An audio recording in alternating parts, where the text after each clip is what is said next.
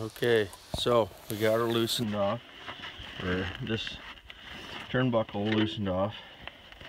And if you need any gloves, these little condor things, I don't know what's uh, what uh, who makes them, but I guess condor probably. They're slick.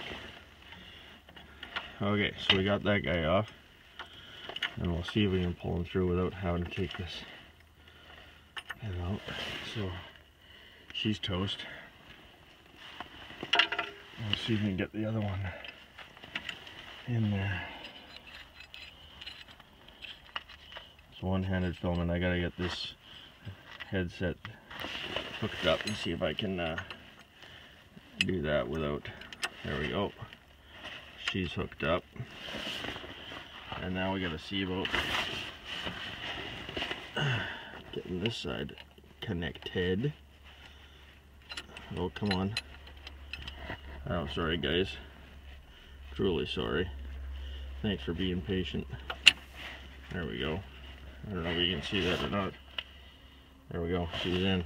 So we'll tighten up this screw connection. And then tighten up the turnbuckle and then we'll be off to plowing. There.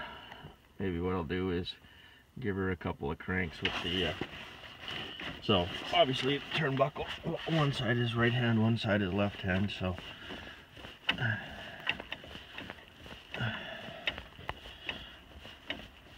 We tighten this guy up. And uh, should put the gloves back on really. But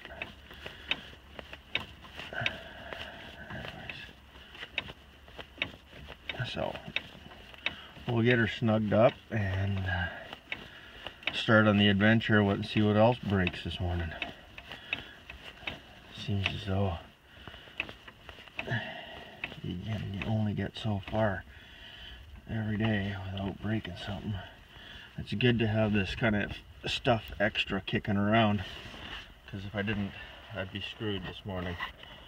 So you'd have to go make a run into the hardware store or tractor store and and uh, get those bits and pieces so it's always nice to have a bunch of extras. Anyways all I'm going to do now is uh, tighten up that screw connection a little bit put a little bit of effort on this one and then uh, tighten up the backup nut here and then we'll be off to the races and uh, here we go. Oh the other thing I lost the other day while this whole mechanism was biddle bouncing around my fuel cap Isn't that something? So we've we've got we've got a paint can top as a fuel cap right now because I got nothing else and I got to use the machine. So that's that. Thanks again for watching, guys. Please uh, remember to like, comment, and subscribe. Cheers.